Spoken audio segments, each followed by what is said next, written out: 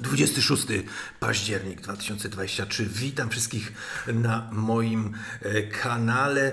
Proszę Państwa, zbliżamy się do roku 2024, w którym wszystko ma się zdarzyć. Wszystko to, na co czekamy, ma nastąpić. Reset, czy będzie on dobry, e, czy zły, e, nie wiadomo, ale pojawiło się mnóstwo bardzo ciekawych informacji z Niemiec i okolicy, które za chwilę za darmo w pigułce bez recepty Wam przedstawię. Nie wiem, czy one są prawdziwe, nie wiem, czy te wiadomości są prawdziwe, ale ukazały się za ich, proszę Państwa, autentyczność. Nie odpowiadam, ja tylko e, te informacje będę no, w sposób jakiś tam e, rozrywkowy komentował. I pierwsza, proszę Państwa, wiadomość News.de informuje o stanie psychicznym Putina. Twierdzi, że Putin jest totalnym wariatem.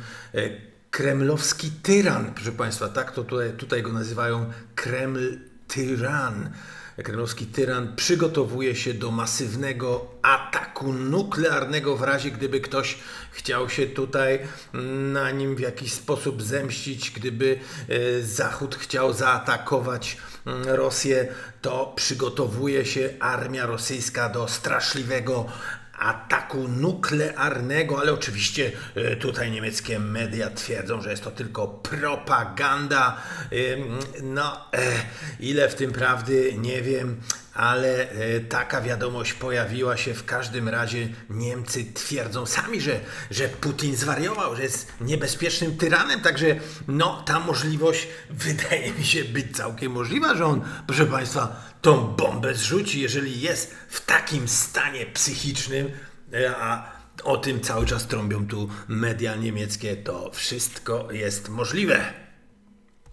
E, proszę Państwa, niebezpieczne zebranie terrorystów w Moskwie. Tutaj czytamy, że, że delegacja e, z Palestyny, e, delegaci z Hamas spotkali się z rządem, proszę Państwa, rosyjskim w Moskwie.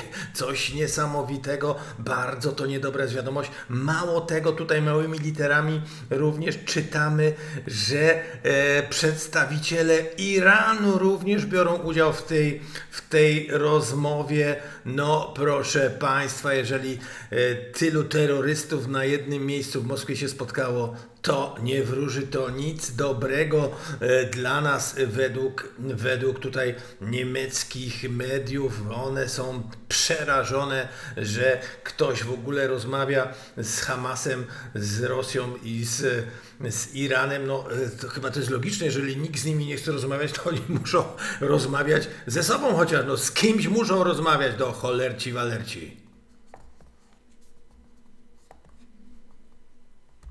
Również, proszę Państwa, wielkie zmiany w organizacji, tak zwana ostatnia generacja. Jest w Niemczech taka organizacja, których przedstawiciele przyklejają się takimi mm, klejami do dróg i protestują, chcą po prostu zmiany polityki klimatycznej. Niektórzy mówią, że to również są terroryści klimatyczni, no ale w Niemczech oni są pobłażani, uważani są za aktywistów, że mają dobre intencje, proszę Państwa. I również tam u nich no, wielkie przetasowania, chcą zmienić trochę strategię, e, gdyż według nich za mało się robi w celu, e, w celu ochrony klimatu, także proszę Państwa musimy się liczyć, że znowu jakieś będą nowe akcję. E, ta akcja z przyklejaniem się do, do, do ulic, do, do autobanów i chlapanie mm, farbami malowideł i różnych statu, coś to się trochę tu nie spodobało, także w tej chwili ta organizacja Ostatnia Generacja, tak się nazywają, e, też debatuje nad zmianą, nad zmianą mm, strategii w Niemczech. E, proszę Państwa, przenosimy się króciutko na giełdę Siemens Energy. E, taka firma straciła dzisiaj 30%, 34% na giełdzie. Proszę Państwa, załamanie na rynku energetycznym niemieckim, brak tanich paliw, brak taniego gazu. E, cała gospodarka siada również Mercedes-Benz. Dzisiaj stracił chyba prawie 7 czy 8%, gdyż prawie mm, bardzo mało sprzedał samochodów, ogromne straty, ale ale według, proszę Państwa, niemieckiego ministra mm, od gospodarki Habecka e, to nie jest tak źle. Wiele, wiele firm nie splajtowało, tylko po prostu przestało produkować. Tak, tak, to, okre, tak to sformułował minister gospodarki, że ten kryzys powoduje, że, e, że wiele e, firm jest plajte, ale tak jak on mówi, one nie są plajte, tylko przestały produkować i bardzo wiele firm niemieckich właśnie e, przeżywa, e, przeżywa tak ogromny kryzys, że jest e, no, w insolwencji. Również, proszę Państwa, Siemens Energy prosi już rząd o pomoc finansową, bo sam nie jest w stanie się utrzymać.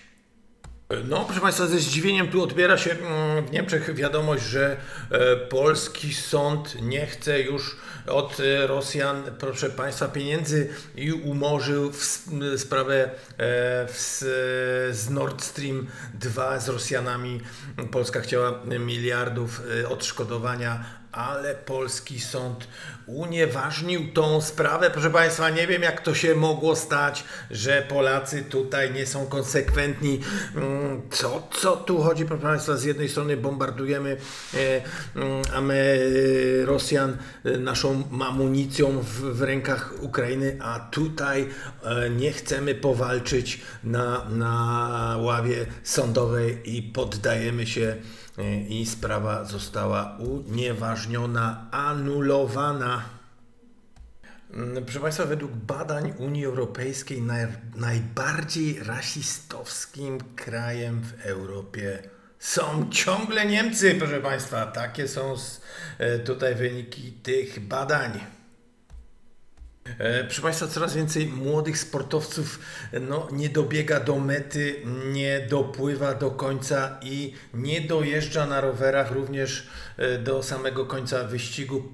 E, tak teraz ostatnio stało się z 20-letnim no, zawodowym, proszę Państwa, zawodnikiem kolarskim Holendrem, który no, 23 właśnie tego miesiąca nie dojechał do mety. Nagle i niespodziewanie zmarł na atak serca. Niech mu e, ziemia lekką będzie. Oczywiście nie ma to nic wspólnego z wielką akcją, proszę Państwa, szczypawkową. To jest teoria spiskowa.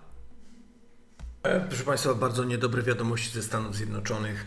W razie zwycięstwa Trumpa, Trump powiedział, że e, tą skorupowaną organizację mm, dla zmylenia przeciwnika, nazwaną Światową Organizacją Zdrowia, że on ją, proszę Państwa, zlikwiduje. Coś niesamowitego. Musimy się obawiać. Proszę Państwa, Trump chce na, e, zrobić atak na nasze życie i zlikwidować jedynie słuszną organizację, która wie, jak nas wszystkich wszystkich ochronić na całym świecie i okolicy przed e, pandemiami, które, e, które rozprzestrzeniają się niesamowicie szybko i niesamowicie błyskawicznie. Także trzymajmy kciuki za e, Bidena. Co prawda on już ledwo stoi, ale proszę Państwa, lepsze to jest niż temu szarlatanowi, który tą jedną z najbardziej, najbardziej cenionych organizacji na świecie, zwłaszcza cenią ją Bill Gates, proszę Państwa, Soros i Klaus Klaus Schwab, no to jest, proszę Państwa, jest trzech muszkieterów, e, którzy wiedzą, co jest dla nas dobre, no, także musimy uważać, aby przypadkiem republikanie nie przejęli władzy w Stanach Zjednoczonych. Dużo Polaków tam jest, także pamiętajcie, najlepsze, co może być, to Sleeping Joe i Kamala Harris. E, na koniec chciałem Wam powiedzieć, że mm, tutaj y, na Bałkanach, gdzie obecnie jestem, jest ciągle ciepło. Jest ciągle ciepło, e, są fajne góry i w okresie kryzysu można się tutaj doskonale schować. Nie trzeba się martwić, że się zmarznie. Także pamiętajcie, e, jeżeli gdzieś uciekać, to tam, gdzie jest ciepło. No, zima niestety chyba przyjdzie niebawem, chociaż mamy wspaniałą jesień.